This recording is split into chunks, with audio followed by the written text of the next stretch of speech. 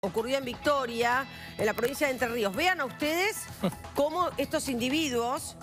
Son dos ladrones, Lore, ¿no? Sí. Quieren robarle la moto a los policías. Me llama la atención también la forma en la que se y los defienden atacaron brutalmente. Y cómo se defienden los policías, los dejaron en ridículo ya que no pudieron detenerlos. Esta situación ocurrió en las últimas horas en la localidad de Victoria al término de los carnavales. Dos testigos grabaron todo. Mirá cómo le pegan a un policía. El otro está... Es un mano a mano, míralos. ¿Qué está haciendo el otro allí, el otro policía? Está tratando de sacar algo de la moto, Sí, que evidentemente sí. no puede. Así un palo Ah, para pegarles. la cachiporra. La cachiporra. claro. Pero sí, la verdad que son métodos poco... Son dos jóvenes que atacan a, sí, a uno de los policías que estaba tirado en el piso, ¿no? Como lo estábamos viendo, cerca de donde estaba su moto caída. Apenas unos pasos atrás, como lo vemos, ¿ven? Que está mirando la secuencia, tratando de sacar justamente la tompa de su moto para asistir a su compañero, el otro policía. Bueno, eh, aquí tenemos a Milton Taulada, que es policía de Entre Ríos, eh, que está en línea para charlar con nosotros. Estamos viendo estas imágenes. Oficial, buen día.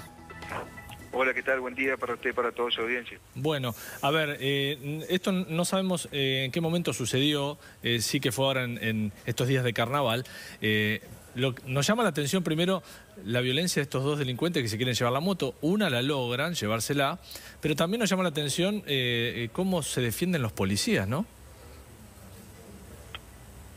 Bueno, el hecho en sí ocurrió el día martes 13, eh, el día martes 13 al, a las 7 y 20 más o menos de la mañana, eh, sí, eh, a raíz del- de los días de carnaval, eh, se encontraba mucha gente en la ciudad, ya en la desconcentración de lo que había sido toda la noche de carnaval, cuando los dos policías motorizados de recorrida observan a, estas dos, a estos dos masculinos que circulaban en moto, por lo cual eh, en una actitud que observan para ellos sospechosa, Sí. eh, tratan de, de- de ir a, a identificarlos en virtud de que se venía aproximando un grupo de jóvenes eh, a los cuales estos pensaron que lo iban a intentar de increpar algo, ¿no?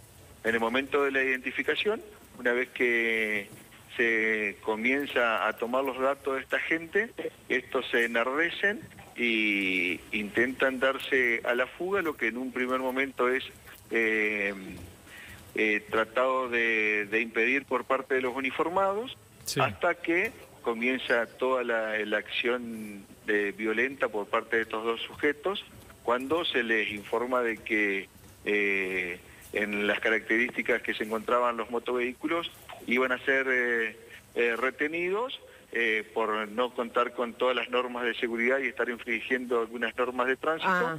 Entonces, en ese momento se enardecen y tratan de, de- de escapar del, del operativo, comenzando a agredir a los uniformados, Claro. a los cuales agarran en forma desprevenida.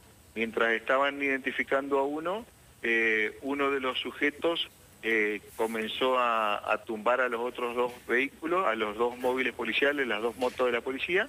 Entonces, esto hace que, que, que se separen los uniformados y entonces cuando se intenta detener a uno y mientras el otro funcionario iba a pedir apoyo y a tratar de buscar un elemento para tratar de, de poder Sí. hacer una correcta Eh, ahora, aprehensión, sí. eh, fue que, se, que estos sujetos eh, en colaboración logran evadir y, y huir del, del procedimiento.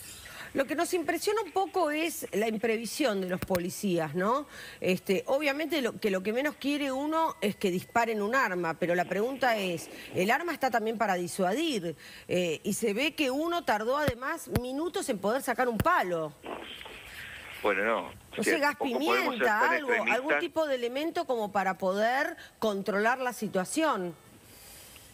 No, por supuesto, o sea, hay, hay eh, una gran realidad, o sea, eh, no es lo mismo eh, poder reducir a una persona en un mano a mano Sí. y hasta por ahí es, es, es difícil poder reducir a una persona entre dos o más cuando una persona está tratando de- o de evadir o totalmente enfurecida. Claro. La situación a lo que usted me ref- me refiere con el tema del arma, Sí. el arma es la última instancia. Usted Sí. imagínese No, está bien, de pero- Está cómo cambiaría la situación Podrían si haber estuviéramos la hablando de- sacándola de, de un- solamente. de uno de estos masculinos heridos o ultimado por en un en un procedimiento por una infracción o una una identificación que Pero, se iba a realizar a en la ver, vía yo le pública, quiero ¿no? hacer una pregunta, Taulada.